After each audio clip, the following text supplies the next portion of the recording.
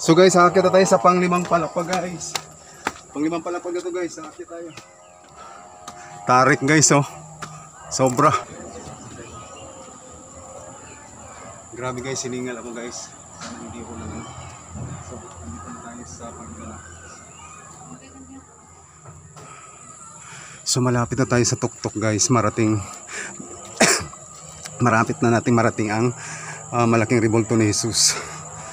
Alright. Okay.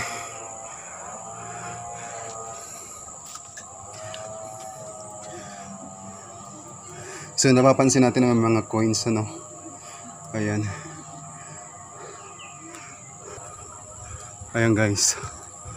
Ayan na malapit na tayo guys oh, sa tuktok sa Revolto ni Jesus. Ang dating dito guys sa fifth station or sa panglimang palapag. Ayan, ito yung ating makikita overlooking. Grabe ang ganda guys oh. Ang view sa sa baba. Ayan. 'Di ba? Tanaw na tanaw na tanaw natin ang Lokban Quezon. Ayan. Tapos mga kabahayan doon oh. Ayan. So, tara na. Let's go. Okay.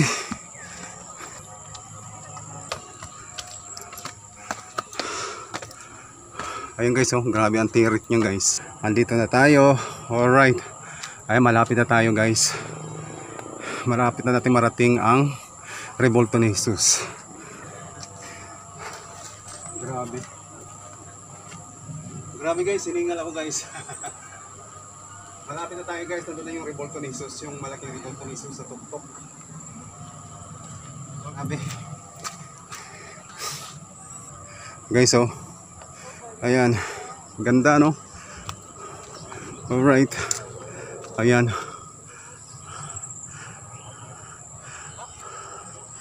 Ito yung sagradong lugar or uh, healing place. Marami talagang pumupunta dito guys. Dinadayo tong uh, Lokban Quezon sa kamay ni Jesus. Guys. So tara na guys. So tara na guys. Akit na tayo.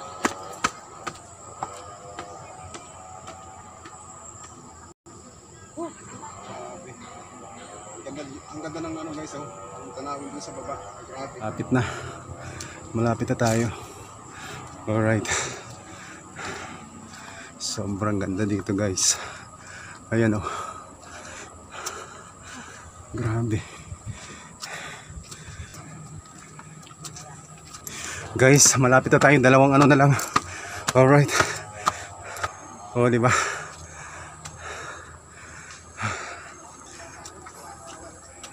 Ayan na sila guys oh.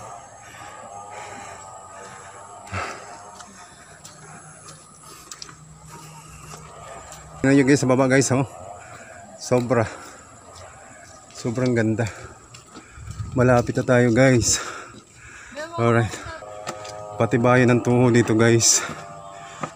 Tara na guys. Let's go.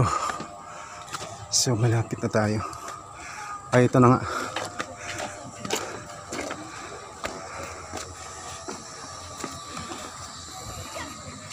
Ito na guys. Narating na natin yung ano, hiningal ako. Narating na natin yung malaking revolto dito sa Tuktok. Revolto ni ano, ni Jesus. Ayan. So pagdating dito sa sa taas, makikita natin yung So, okay na tayo guys. Punta na natin.